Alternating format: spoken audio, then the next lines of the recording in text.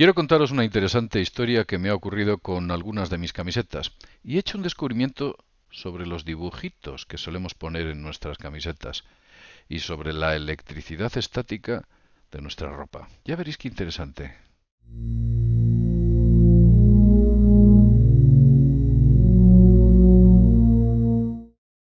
Sí, efectivamente.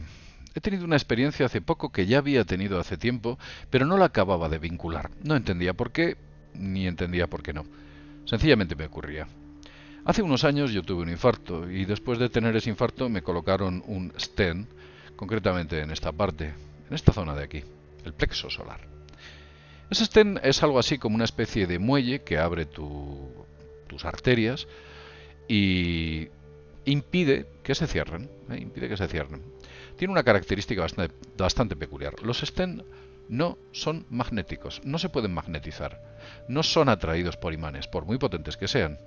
Son de un metal muy especial que no permite ese tipo de cuestiones, lo cual es de agradecer, porque si yo me acercase con un stent a un potente imán podría tener graves problemas de salud. Sea como fuere, me ocurrió algo curioso. Veréis, yo tengo muchas camisetas, son prácticas, cómodas, en verano, en invierno, son tienen muchas ventajas. Sí que es verdad que las camisetas no son lo suficientemente formales como pueda ser un polo o una camisa, pero entregan una cierta comodidad que se agradece. Y tengo muchas camisetas. Descubrí que con ciertas camisetas notaba molestias en esta parte donde tengo el. ¿sí? Notaba molestias.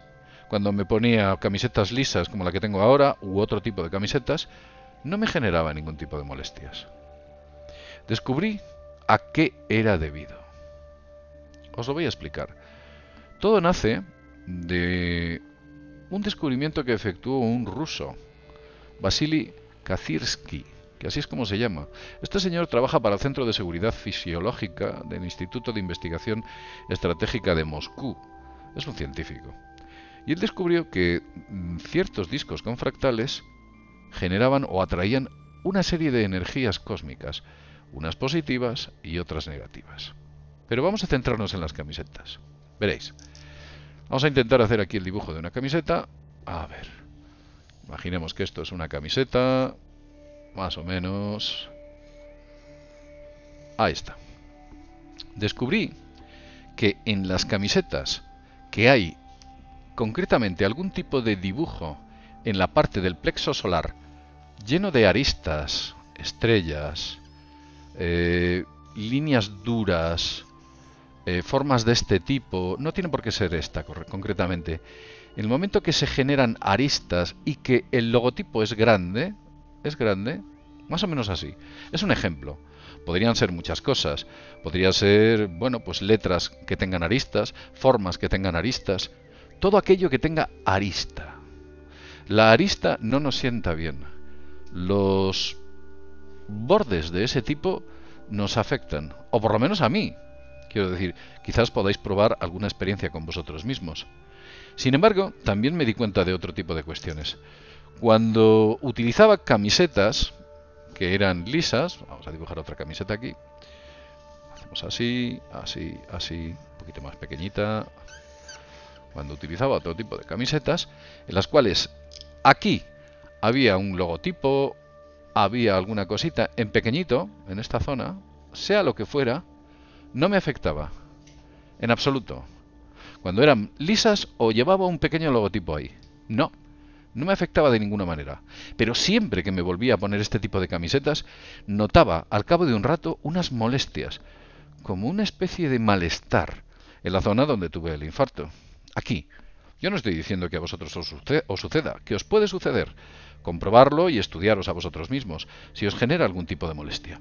Estaba hablando de ese señor, Vasily, Vasily Kazirsky. Resulta que este hombre descubrió, entre otras cosas, y lo voy a dibujar aquí, que cuando tienes un recipiente con agua, vamos a dibujar un recipiente, y aquí colocas otro recipiente con agua, pongámoslo de esta manera, aquí hay agua, aquí hay agua, y en uno de ellos metes una forma en concreto, que puede ser un fractal determinado con una forma muy peculiar que él descubrió, y aquí hacías lo mismo y metías otra forma también distinta, Si colocabas un amperímetro en medio, un amperímetro, resulta que el amperímetro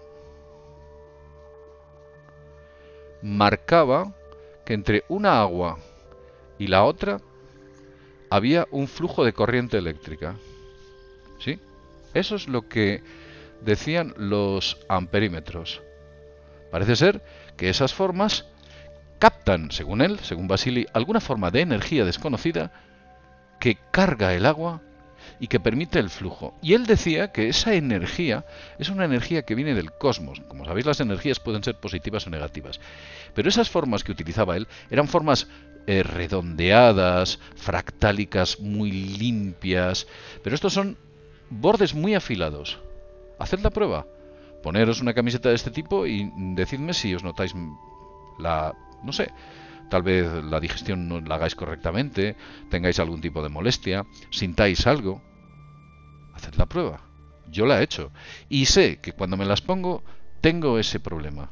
De hecho, cuando me las quito y me pongo una lisa, por ejemplo, tarda un tiempo, o tardo un tiempo en recuperarme. Me voy recuperando, recuperando, pero no es instantáneo. Puedo tardar dos, tres, cuatro horas. Es como que quedara una especie de reminiscencia de la forma que poco a poco se va diluyendo y algo capta esa forma que afecta directamente a mi biología.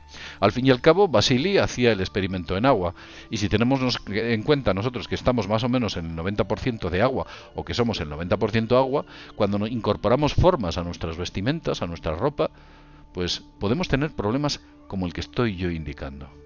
Es curioso probarlo también o intentar descubrir algún tipo de vinculación que pueda existir con algunas formas que hay en vuestras ropas y lo que os ocurre. Pues sí, eso me ocurrió a mí. Y también he descubierto algo interesante. Cuando tienes ropa que te carga eléctricamente, aunque creo que incluso hay estudios al respecto, ropa que genera mucha electricidad estática, también empiezo a sentirme mal cuando me cargo eléctricamente justo en esa zona del plexo solar, empiezo a notar un malestar. Inmediatamente me descargo tocando algún radiador o tocando algún aparato metálico grande o tocando haciendo una toma a tierra, me descargo y me empiezo a sentir mejor. Voy a hablar en un vídeo más eh, que vamos a hacer un poquito más adelante sobre la desconexión que tenemos en el suelo. Nos desconectamos del suelo. El ser humano no está conectado todo el calzado que tenemos es de caucho, de goma o de otro tipo de sustancias que impiden que tengamos contacto directo con el suelo. Estamos aislados con la tierra, con la madre tierra.